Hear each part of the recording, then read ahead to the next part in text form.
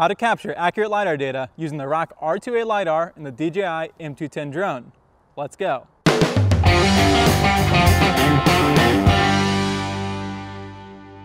First thing we're going to do is cover the equipment needed to fly this LiDAR mission. Step one, we have the DJI M210 version 1 drone. We have the RC controller, two batteries, and the iPad tablet. Here in the middle, I have the ROCK R2A LiDAR system. Has a 24 megapixel camera as well as the Livox AVIA sensor. And then for our base station, we're using the Reach RS2 from Emlid. Behind me, you can see I have a two meter bipod, which we're gonna put the base station on. And then even further behind me, we have some aerial targets where we'll put the base station up on top of. Now let's cover installing the LiDAR to the drone. The ROCK R2A comes in two components. You have the aerial scanner and we have the GPS puck. Let's go ahead and install the aerial scanner into the drone. On the DJI, we have the Skyport adapter, which allows us to just plug it in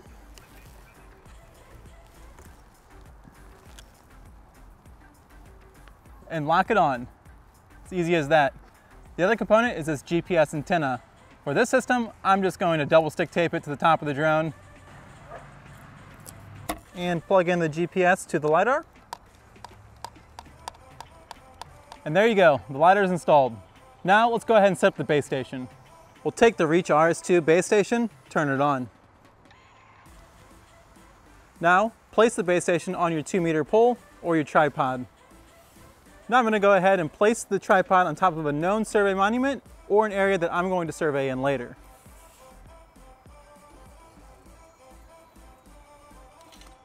Now the other thing is I'm putting the base station on top of this aerial target and I'm gonna do some post-processing to get this position known really well.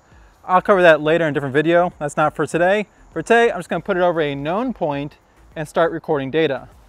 All right, now that I turned on the base station, I logged in using my phone's Wi-Fi to the Reach base station, and then I navigated to the Reach View app, open that up, and I can see here, I have the Reach base available. I click on that. So right here, we can see how many satellites we have. Now that looks good, so I'm gonna come over here, I'm gonna navigate to logging, and then I'm going to turn raw data, RINEX 3.03 on. Now I have the system set up to capture one second observations, and now that's it. Now the base station's set up, it's recording static observations. Now it's time to go ahead and check the airspace and then plan our mission plan and fly and capture LiDAR data. Let's check the airspace. To check the airspace, I'm using the AirMap app. And as you can see here, we actually have a lot of restrictions of our airspace. But right here where we're flying, we have the ability to use the LAANC in order to get a 200 foot instant authorization to fly. So I'm gonna go ahead and get that authorization now. So I went ahead and created the instant authorization. I submitted it, boom, there we go. Good. So now that we got that instant authorization for the airspace here, I'm gonna pull out my iPad and start doing a mission plan.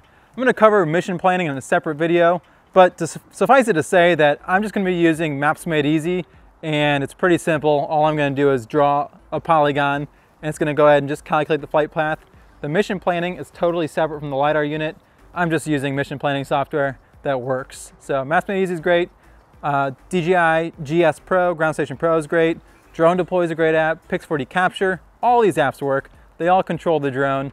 Uh, and then if you're on a Pixhawk auto, uh, autopilot, uh, Q ground control works really well. So without further ado, I'm gonna go ahead and plan that mission. All right, so I got my tablet out and I connect to the drone. Now using Maps Made Easy, I just created a quick polygon. I'm doing a crosshatch mission today. Now that we have the LiDAR installed on the drone, the base station logging data, the mission plan planned, I'm gonna go ahead and turn on the LiDAR sensor now.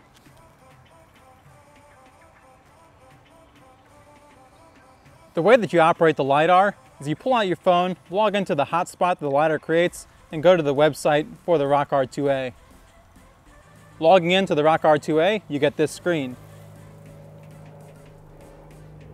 You can see the status, latitude, longitude, how many satellites you have, the camera that's present, and then right here, I'm gonna click Start. So now we're waiting for static alignment. Static alignment complete. Now it's time to do our calibration flight. So for our calibration flight, I'm gonna go ahead and take off straight up in the air. Now fly in a straight line for five seconds. One, two, three, four, five. Then I'm gonna fly two figure eights. Once I've done this, I'm gonna execute the mission plan. It'll just fly the mission plan. If I need to, I can come back, land, change batteries, hot swap, keep flying the mission.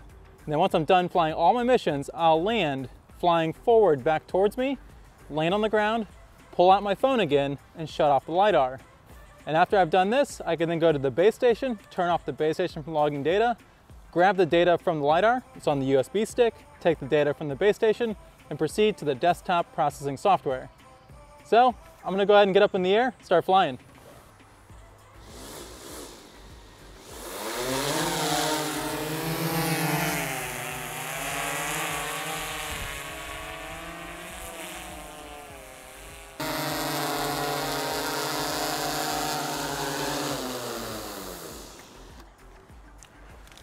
All right, we just finished flying our LiDAR mission. Now I'm gonna pull out my phone and turn off the LiDAR after one minute.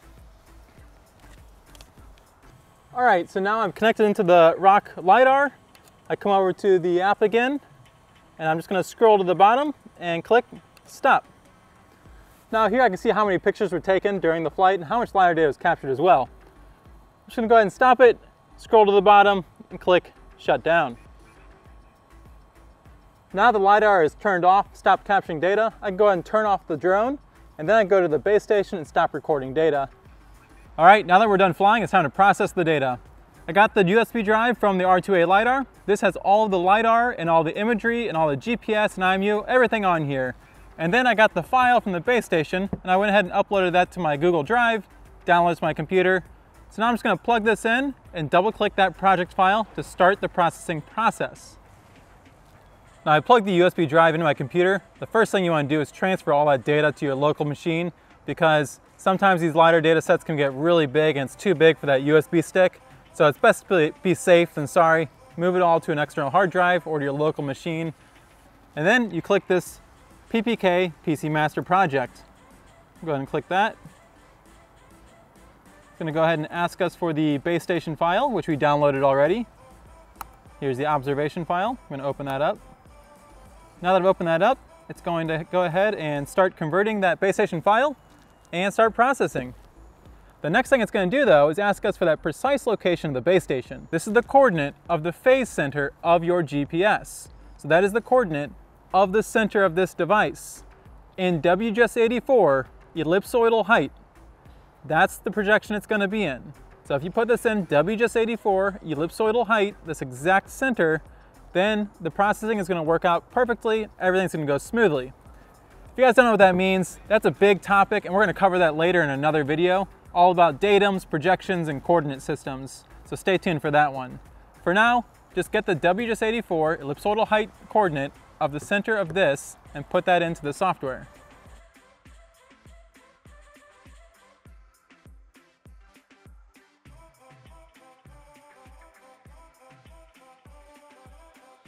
And there you go. That was flying the ROCK R2A LiDAR on the M210 drone to capture LiDAR data. Basically that simple. We just install it on the drone, we set up the base station, start logging static data, make our mission plan, turn on the LiDAR, start recording data, do our calibration flight, the straight line and then the two figure eights, just fly the mission like normal, land, let it sit for a little bit, turn off the LiDAR, and then we take the USB thumb drive and the RINEX data from the EMLID and use the PC Master desktop software. And this will make the point cloud. And then from there, we use the PC Painter software to colorize the point cloud. And now we have a geo-referenced, a highly accurate LiDAR colorized point cloud. It's that easy. I'll see you guys in the next one.